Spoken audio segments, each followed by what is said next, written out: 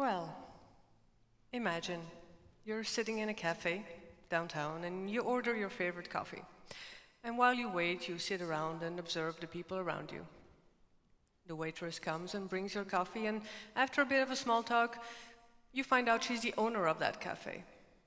And she smiles and walks away and serves other people. And you look at her and you sit back and you think, hmm, I wish I had that too. I wish I had my own business. I wish I was that happy. I wish I had that much freedom. I wish. I wish. Well, that waitress, many years ago, was me. People told me how lucky I was to have my own business, to be that happy and to have that much freedom. Lucky? Cleaning up every night, working seven days a week, working weekends when everyone else was partying and relaxing. Days I had to smile on the outside and feel like shit on the inside. Lucky, so it seemed. But that's when I learned comparing yourself makes no sense. Those people were comparing themselves to my seemingly perfect life, resulting in feeling bad and putting themselves down. And they didn't even know half the truth. Those years taught me how comparing ourselves to others can make us feel miserable. But I learned how to turn it around and feel good instead. So that's what I'm here to share with you today. Most comparison is not fair. We often forget that achieving goals takes hard work. Let's say you want to become really fit or healthy. It takes a lot of workouts and specific lifestyle. I have news for you. David Beckham, he wasn't born this way. Neither was Beyonce. No, they have to put in the effort too. Watching their diet, spending countless hours at the gym. Like running my cafe, it has nice moments, yeah. But I remember vividly the smell of beer every morning I had to clean up the sticky tables and broken glasses. Take famous authors, for example. Before they even become famous, they spend years writing and publishing books. I write books too. And when my friends are going out and telling me, oh, come with us, relax, Rachel, I'm at home, typing, brainstorming, creating. The reality is, a book does not write itself. So if you want all the positive and the fame, you should also want the hard work that goes with it. Take into account the good and the bad. Otherwise, comparing is not fair. But he has the best career, and I'm an idiot. She has an amazing body, but I'm so weak. What are we doing here? We compare the outside with our inside? I mean, we compare others' outside appearances, money, clothes, with our inside characteristics. Oh well, you won't get bored. You will always find someone who has something you wish you had. As a trainer, I see a lot of people compare themselves to others. I see it all the time. All the time. So when I asked him, okay, so tell me about that person you compare yourself to. That person is an exact copy of you?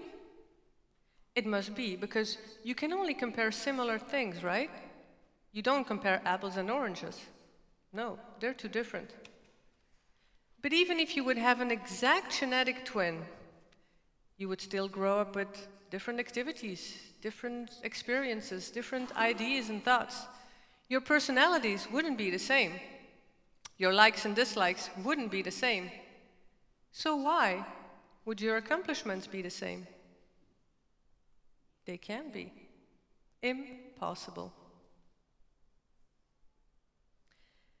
Copying others means you live in their shadow.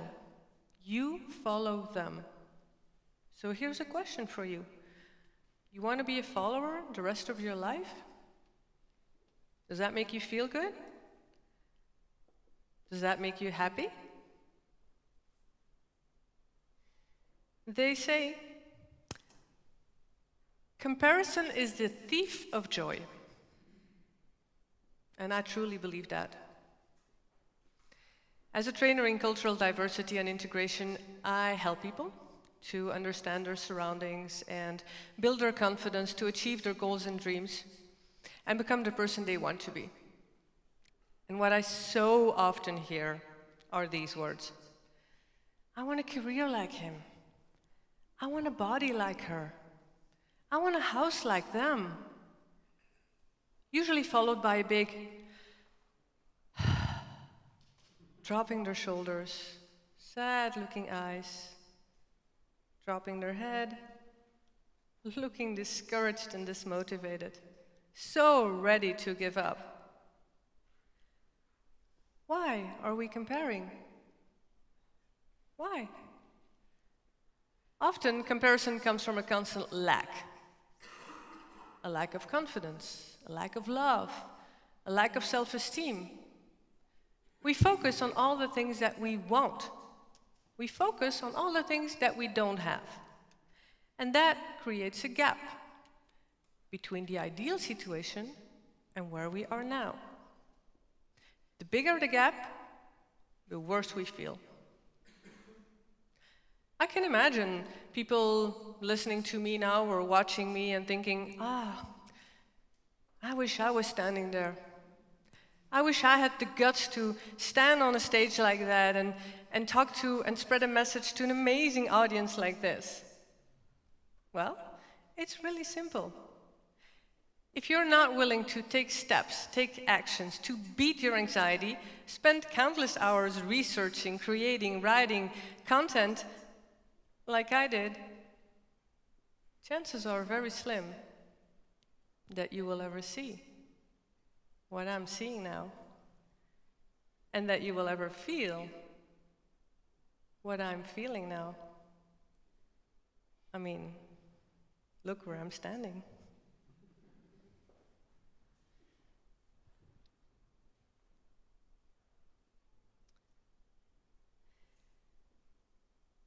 Comparing ourselves makes no sense.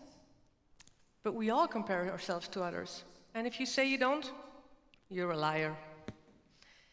I mean, have you ever driven into a neighborhood with these gorgeous big houses, thinking, ah, how nice it would be to live here.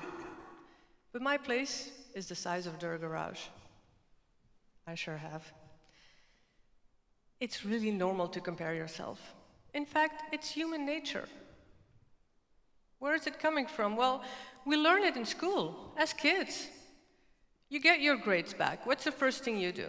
Oh, how much do you have? And how much do you have? And how much do you have? At home, our parents compare us to our siblings. Can't you just listen like your brother does? Do your homework just like him. How about now? Scrolling through Facebook, looking at dream holidays, seemingly perfect relationships, amazing fit bodies, and fabulous achievements. Can you honestly do that without comparing yourself at all? Social media is a way to connect us with each other. Instead, it often becomes a way of disconnecting from reality. The more likes we have, the better we feel.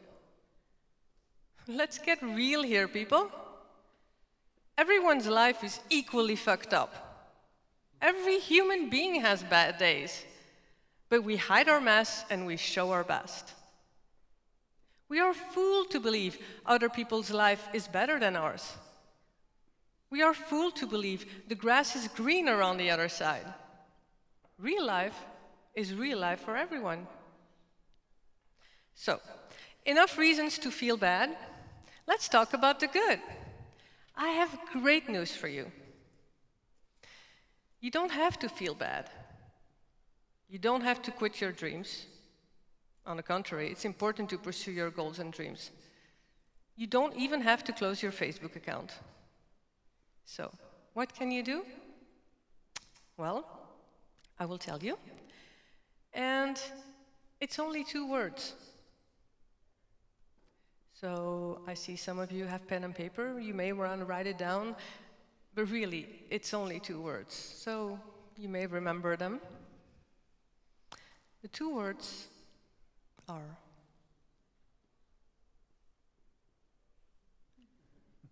Stop it. Stop it. Stop comparing yourself to others. Okay, how? Well, first of all, catch yourself. Be aware of it. And then look at yourself. Really look at yourself. Hold up a mirror. It's called self reflection. And that is your ticket back to reality. Look at all the things that you have instead of all the things that you want. I know, it sounds easy cheesy, right? Let me tell you, I know it's not. Let me take you back a few years ago. I was about 37 and obsessed by having kids of my own. Everywhere around me, I saw families with kids. Looking at my Facebook friends, pictures of their kids celebrating birthdays, gathering around the Christmas tree, and there I was, single, no kids. No one to celebrate with, no other birthdays. Christmas, I don't even bother putting up a tree. Until one day, I was talking to my very best friend, and I said to him, Ah, you're so lucky. You have it all. You have a family, three kids, and I don't have that. He looked at me straight in the eyes and he said, But Rachel, you have so many things that I wish I had. You traveled the world, you lived in all these different countries, you experienced and learned so much. And here I am, stuck in the same town forever, driving my kids to school, doing their homework every night, preparing lunch boxes every day.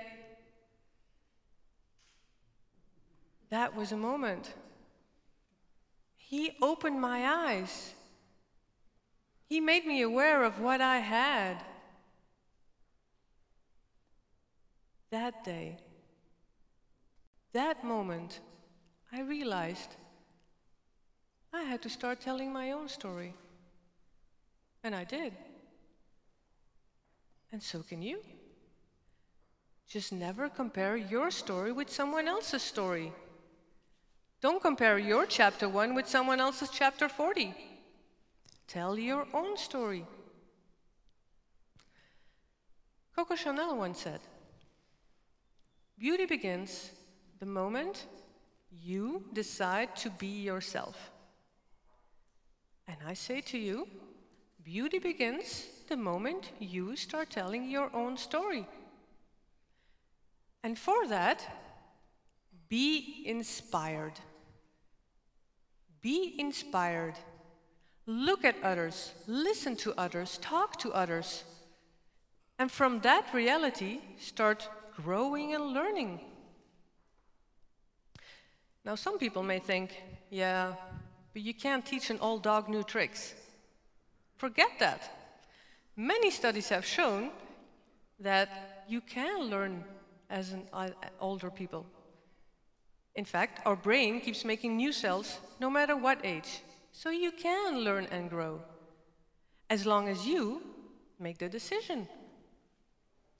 I made the decision too. Many years I was looking at other speakers, trainers, other people giving seminars and webinars.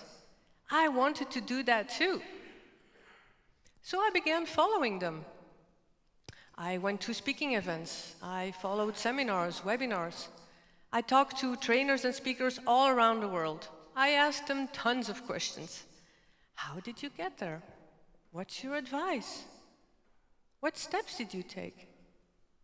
At the same time, I grew my network, I built a website, I read hundreds of books, I started writing chapter after chapter, step by step. Easy? No way. Because knowing what I want, not getting it fast enough, for someone with my micro amount of patience, trust me, it's really hard. But I knew if others can do it, so can I. And so can you. Just tell your own story. Someone said to me, Try till you die. Keep trying. So I figured, in the end, you have a choice. You can do two things. Or you sit back, relax, look at others seemingly doing better, feel really bad about it, give up all your dreams and goals, because really all you can think is, I can't. Or you can look around you. Find others who do what you want to do. Get inspired and create ideas of your own. Learn, grow, develop yourself. And learn from those people. Let's say you want to become a great cook. Spend time with a chef in a restaurant. You want a new job? Go and talk to someone who has that job. You want to improve your tennis game? Play with someone better than you. Learn from all these people. Step out of your shell of insecurities and take advantage of all those people around you. Learn as much as you can. So, imagine you are 95 years old, reaching the end. Whose life will you look back upon? Yours or someone else's? Will you have spent your life comparing yourself to others? Or did you decide to live your own? My message for you today is this Stop comparing yourself to others. Look at yourself. Look and realize all the things that you have, all the things that you know and can. Look at others to be inspired. Learn from them. Find out how they can make you grow. And my final question to you is what is your story? And when is your moment, your moment to be the best you?